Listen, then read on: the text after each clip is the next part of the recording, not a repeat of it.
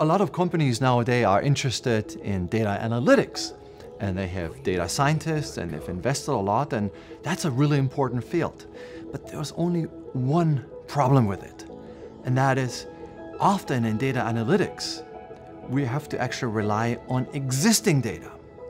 Now, here's sort of a set of issues that we typically run into, and that's why we need experimentation. First of all, when it comes to innovation, we often don't have the data because if the data was already there, it wouldn't be very innovative because someone has already done it before, so it's not innovative. So by definition, innovation means that we usually don't have the data to analyze to begin with. Second of all, context matters. Just because something works in one sort of area doesn't mean that it works in another area. And then finally, when we do data analytics, we usually get correlations. You know, that is, variables correlate with each other. But correlations is not the same as causation.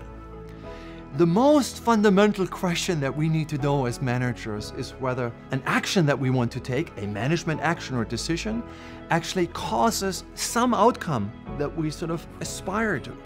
The only surefire way of actually addressing causality is to run rigorous controlled experiments. So if you have a data analytics program and you're just relying on existing data, you're, you're, you're not there yet. What you have to do is you actually have to add experimentation to your toolbox as well, and the two will actually augment each other. Yeah, so that's what it's all about.